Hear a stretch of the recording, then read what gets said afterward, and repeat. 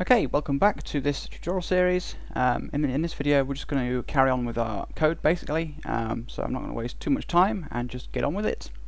So in the last video we basically tested our absolute basic project setup and it seemed to work quite well. So let's just carry on and we'll get on with registering our events and sort of coding our, you know, the, the rest of our code.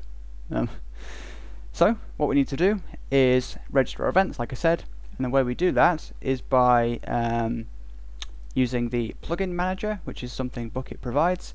So the way we get the plugin manager is from the Java plugin class. Um, because we're extending it, we can just do this.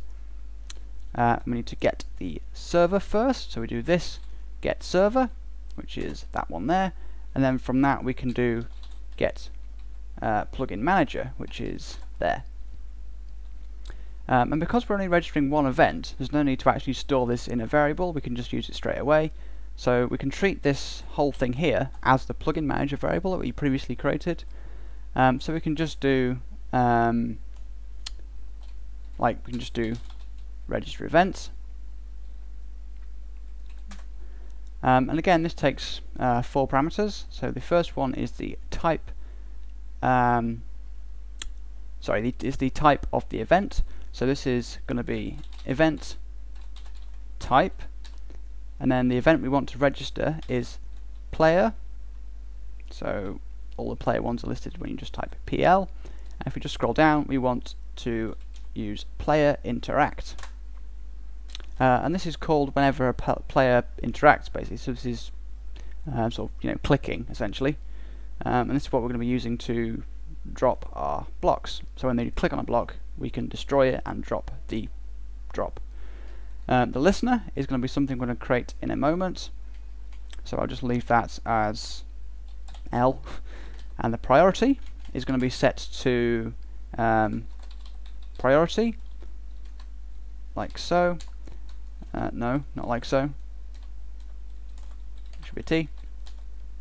There we go.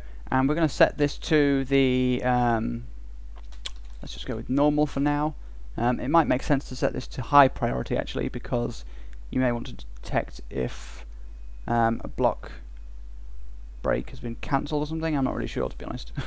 um, or no, oh no, maybe it should be lowest so that other plugins can cancel it. But you can work that out for yourselves. I'm going to be going normal. To be honest, normal is usually sufficient.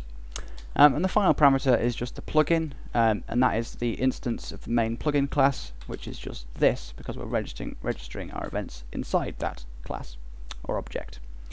Okay, so the next thing we need to do is just fill in our listener here. Um, so we're going to create a new class, so I'm going to go and do that now, just by right-clicking on our project. I'm going to go to, sorry, our package, go to new, and then class. I'm going to call this class super pick player listener, like so. I'm just going to click finish and we get our new class created. So this class needs to extend the player listener class, which we do by which we do by just typing extends player listener. So whatever sort of the type of your listener is, like player listener, block listener, entity listener, you extend the respective class for that. And that just provides the various sort of events and things you need basically. Okay, so that will just need importing, which is why it's gone like that. So we just need to import it from Bukkit, like so. So then, now we've created our listener, we can go back to our SuperPick plugin, and we can create the listener as an, uh, a property of our class. So I'm going to create a new private property. Its type is going to be SuperPick player listener, which is just the name of the class we just created its its uh, sorry its name. Yeah its name. Is going to be player listener and it's going to be equal to a new super pick player listener. And we're not going to be passing in any uh, parameters. Okay so then we can replace our L down here with this property. So we just do this player listener like so. Um, I suppose it might make sense to have this as a variable actually because this line is quite long, so I will just do that thinking about it. Um, it makes it easier to maintain your code as well because say you want to add more events, um, you can easily do that. So what I'm going to do is just delete that there and bring it down here. And then we're going to create a new variable in instead of this line here. So this variable's type is going to be a plugin plugin plugin manager. Its name is going to be um, manager, and it's going to be equal to that thing that we used pre uh, used previously. So this will just need importing. So just import, and then we can use this here. So we can just use manager like so. So that means that, so for example, if you wanted to add a block break event, all you'd have to do is just copy this line and then change the events and the listener. So that is actually quite a, you know, a much better way to do it. Okay, so now I've registered our, registered our event, we need to actually um, you know, use it. Because at the moment all that's happening is it's sort of trying to be called and there's no function for it to call in this method. Sorry, there's, there's no method for it to be to, for it to call in this class, is what I'm trying to say. So what we need to do is create a new method to handle the player interact event. So we're going to create a new public method. Its type is going to be void, and its name is going to be on player interact, like so. And this is we're going to take one parameter, which is going to be a player interact event. I'm just going to give this the name of event. Okay, uh, and this will just need importing because um, well it just needs to be. There we go. So what we can do in here is check to see if the player has left clicked on a block because these events are called um, for quite a few you know situations. So left click and right click are two examples. Um, and we want to make sure they have left clicked because that is you know generally how you break a block. Um, so mm, I should probably point out that even if the player has remapped their keys, because um, you can do that in the new version of the game. So if they have it as if they have like if they've swapped them round, so breaking a block is right click, um, the left click action is still true they still tried to break a block. That's all that means. It's not. It's a little bit awkward, really. But anyway, so what we need to do is check to see if they've um, left clicked, and we do that by getting the action, which is either going to be left click, right click, or you know one of the available. Um, so we do we can do that just by doing if event get action, which is the top one, and then we can check this to see if it's equal to action. Um, left click block. Then you can see all the various options that are available. Um, left click air, left click block, right click acceleration key. I'm not really sure what most of these do, but anyway. Um, so we just want to register, you, well, we want to check to see if they have left clicked on a block. And if they have, we're going to go ahead and destroy that block and you know drop it. So what we need to do is, well, actually we should, well, we'll do this afterwards, but I'll just demonstrate how it works first. Um, so left click on block, we've determined that. So next thing we need to do is actually get the block that they have clicked. So we're going to define a new variable whose type is going to be block, and the name of the variable is also going to be block, and this is going to be equal to event get block, which is oh sorry get clicked block, like so. Okay, and that will need importing and import. So now what we can do is do um, block, mm, actually, thinking about it, what we will need to do is get the type of the block separately, because when we set the block's type, that type will be overwritten. So we can't set the type to air and then drop the type of the block, because that will drop air, which doesn't make any sense. Um, so what we need to do is get the block's type, which we can do by um, creating a new variable here, uh, which is going to be a material, and this is going to be the name, it's going to have the name of type, and it's going to be equal to block get type, like so. And that's the type of the block that we're going to drop. Now obviously this is slightly different to how the game behaves normally, um, because say if you break glass, it doesn't drop anything, but using this method it will actually drop a glass block. Um, but I'm not going to be um, going over how to have it drop you know, a natural drop because that's not the point of this video. The point of this video is commands, which we will get to eventually, honest. Um, so yeah, that's why we're just dropping it like this, it's just for simplicity of the code. And to be honest, it is kind of a nice feature, because sometimes you do want to collect glass blocks, and Super Pickaxe mode would be quite a nice way to do that.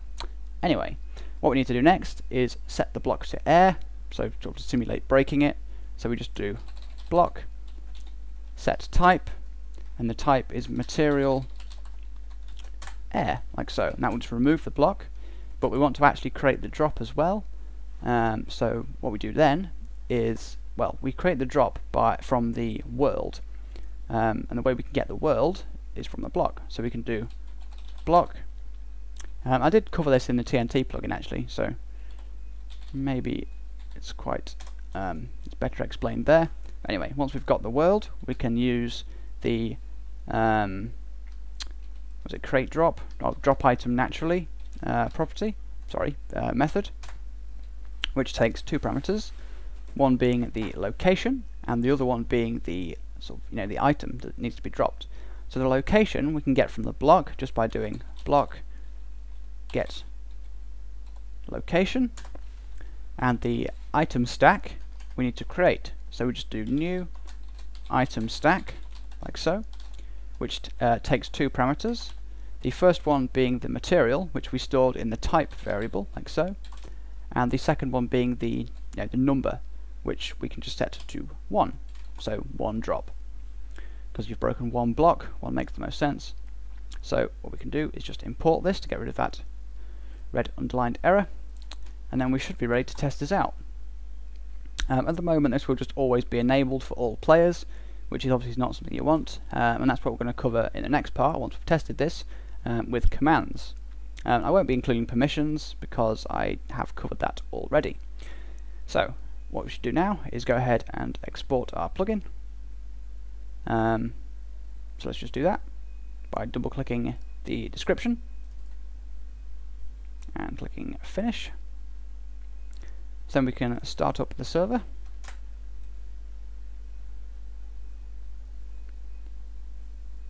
if it ever loads. There we go. So then we can go across to the game and just refresh this. Oops, I've got the sound on, hope you didn't hear that. Um, so we'll just connect to my testing server